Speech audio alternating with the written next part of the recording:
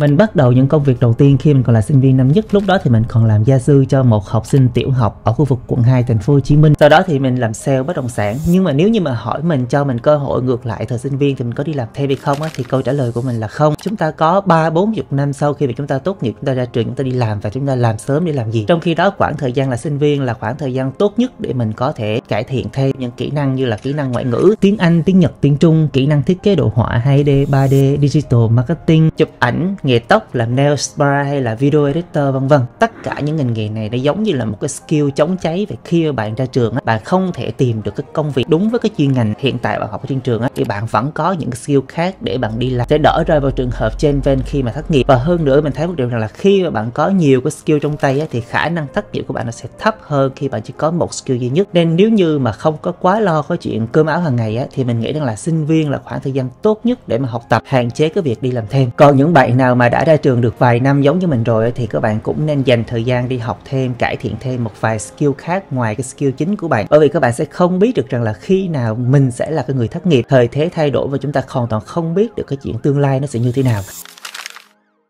từ khi mà ra trường đến giờ thì mình làm ba công việc chính đó là hướng dẫn viên du lịch này, graphic design và content creator. Công việc đầu tiên của mình đó là hướng dẫn viên du lịch. Trong du lịch nó sẽ có hai cái thị trường lớn là thị trường nội địa và thị trường quốc tế. Thị trường nội địa là dẫn khách du lịch ở trong nước và du lịch trong nước. Còn thị trường quốc tế thì chia ra hai thị trường nhỏ đó là thị trường inbound và thị trường outbound. Thị trường inbound là dẫn khách nước ngoài vào Việt Nam du lịch và thị trường outbound là dẫn khách Việt Nam đi du lịch nước ngoài. Trung bình thì một ngày hướng dẫn viên du lịch sẽ có được 500 nghìn tiền công tác phí. Ngoài ra thì bạn sẽ có được tiền tiền của khách này, tiền booking dịch vụ và tiền hoa hồng khi mà khách hàng người ta họ shopping. Ngoài ra thì nếu bạn làm được MC cho những cái chương trình sự kiện MC cho đám cưới hay gala team building nữa thì bạn sẽ có công tác phí riêng. Trung bình mức lương cơ bản của một hướng dẫn viên du lịch thì mình nghĩ rằng là nó sẽ lâu đó tầm khoảng từ 15 cho đến 20 triệu. Bởi vì ngày xưa mình cũng đạt được con số này khi mình làm hướng dẫn viên du lịch. Sau một thời gian làm hướng dẫn viên du lịch đó thì buổi tối mình dành thời gian khoảng một tiếng đồng hồ để mà ngồi làm content creator trên nền tảng YouTube. Trong khoảng một năm trời, gần một năm trời mình hoàn toàn làm việc không không lương mà đêm nào mình cũng phải dành khoảng một tiếng để ngồi viết script, edit, chỉnh sửa video tất cả mọi thứ liên quan đến YouTube. Sau khi mà up những video đầu tiên lên trên kênh của mình đến 8 tháng sau thì mình đạt được cái mốc ngưỡng đầu tiên đó chính là trở thành YouTube partner với 1.000 người đăng ký với 4.000 giờ xem. Nhưng mà chưa có dừng lại ở đó, từ 0 đô lên 100 đô thì mất đâu đó khoảng gần 5 tháng nữa thì mới được 100 đô đầu tiên. Dành cho bạn nào chưa biết thì YouTube sẽ thanh toán cho mỗi content creator trên nền tảng của họ khi mà cái kênh đó đạt ngưỡng 100 đô. À nếu như mà tháng đó bạn không được ngưỡng 100 đô thì số tiền sẽ được cộng dồn vào tháng tiếp theo. Nói chung là mình mất khoảng đâu đó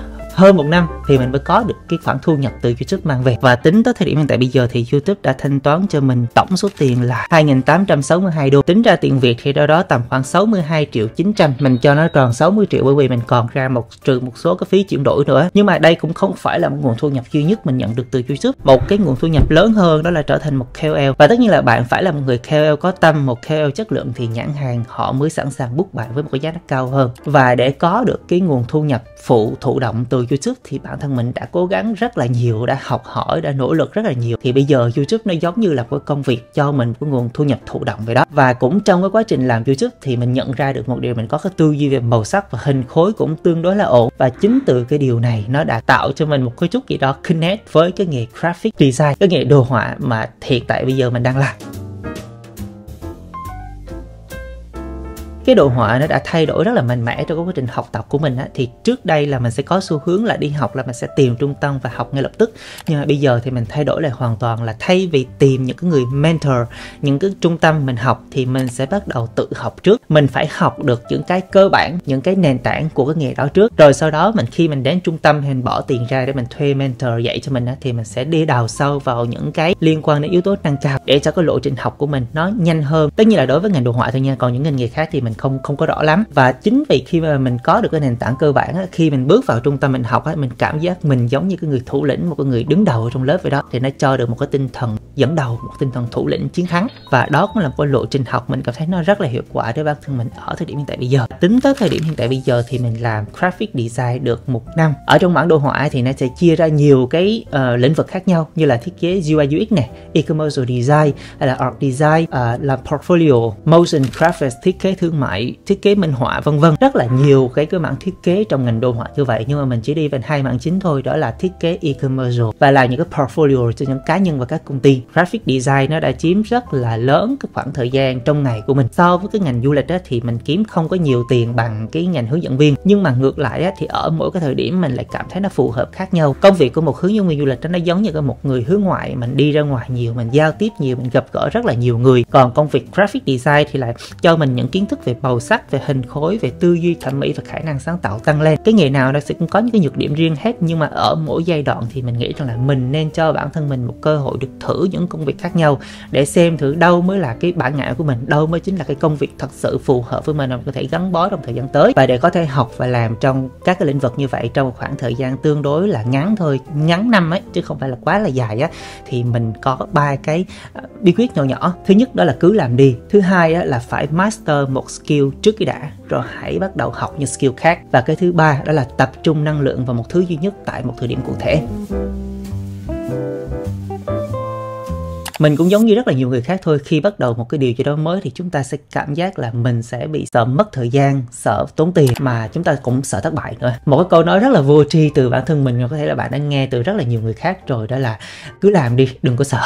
Đúng các bạn. À, chỉ có khi mà chúng ta bắt tay vào làm thì chúng ta mới biết được là mình có hợp hay không mà thôi. Đôi khi chúng ta nghĩ rằng là không hợp nhưng mà cái đó chỉ mang tính cảm giác thôi. Nếu mà chúng ta bắt tay vào làm chúng ta có thất bại trong cái lĩnh vực đó đi chăng nữa thì cũng là cái bài học mà mình được trải nghiệm thực tế thì nó vẫn tốt hơn. Và thứ hai đó chính là các bạn cần phải master một skill hoặc là ít ra là mình high skill trong một cái lĩnh vực. Rồi hãy chuyển qua một lĩnh vực khác. Master skill hay là high skill nó giống như là một cái phao để khi bạn thất bại trong những cái lĩnh vực khác thì bạn vẫn có cái nơi bạn quay về, bạn vẫn có cái nghề trong tay để bạn kiếm sống. Bạn đỡ phải trên ven và đỡ phải quá suy nghĩ nhiều. Quay về với bản thân mình thì nếu như mình không thể trở thành một youtuber hàng đầu, mình không thể trở thành một người KOL trong cái lĩnh vực của mình một cách tốt nhất, mình không thể trở thành một master designer đầu ngành bởi vì nó còn liên quan đến yếu tố tài năng nữa. Thì mình vẫn tự tin quay trở về làm công việc hướng dẫn viên du lịch của mình. Bởi vì đây là cái nghề mà mình tự tin mình có cái skill nó tốt nhất. Mình master trong lĩnh vực này khi mình quay về thì mình vẫn có thị trường đón nhận mình. Nếu như mà bạn muốn chuyển qua một cái ngành nghề nào khác được trải nghiệm trong công việc khác á, thì ít ra bạn phải có hai skill trong cái lĩnh vực skill hiện tại bây giờ của bạn trước khi đã và cái thứ ba chính là tập trung năng lượng của mình vào một thứ. Mình cần phải tập trung vào một thứ tại một thời điểm cụ thể đã được mở rộng ra. Rồi sau đó khi mình hoàn thành xong theo ý của mình rồi thì bắt đầu hãy làm những cái khác. Cái đó là mình đang nói về một cái chặng đường xa. Còn trong một ngày thì như thế nào? Trong một ngày á bản thân mình có khoảng 2 tiếng đồng hồ buổi tối để mình làm về content creator. Không những là trên youtube mà trên tiktok instagram nữa. Trong 2 tiếng đó mình chỉ tập trung toàn bộ năng lượng tâm trí lực của mình vào cái việc làm sáng tạo nội dung thôi. Và khi mình hết hai tiếng đó rồi cho dù có chưa xong thì mình cũng gặp máy tính lại và làm cái chuyện khác. Khi mà chúng ta dồn năng lượng của mình vào một thứ á, thì mình rất là dễ rơi được vào cái trạng thái flow để chúng ta hòa nhịp được với công việc đó. Thì tất cả mọi thứ nó diễn ra rất là trôi chảy, rất là nhanh và cực kỳ là hiệu quả luôn. Và đây là toàn bộ nội dung mình muốn chia sẻ với bạn trong video ngày hôm nay là những công việc đã trải qua, mình đã từng làm cũng như là đang làm ở thời điểm hiện tại bây giờ và cũng như cái cách mà mình đã kiếm tiền để mà tích lũy đầu tư trong thời điểm hiện tại bây giờ cũng như là thời gian tới. Rất là cảm ơn các bạn đã dành thời gian xem vlog của mình ngày hôm nay. Nếu như bạn có góp ý nào cho mình thì đừng quên để lại bình luận bên dưới nhé. Cảm ơn các bạn rất là nhiều. Đừng quên đăng ký kênh. Chào tạm biệt các bạn. Hẹn gặp lại các bạn trong những video lần sau. Bye bye chúng ta tập đầu tư để khơi gợi cái tinh thần đầu tư ở trong bản thân của mình. Có một cái tinh thần kiếm tiền bằng nhiều nguồn ở bên trong của mình. Để là tiền đề là cái nền tảng. Chúng ta bắt đầu với đầu tư những cái lớn hơn, rủi ro hơn trong tương lai. Bạn hiểu ý mình đúng không?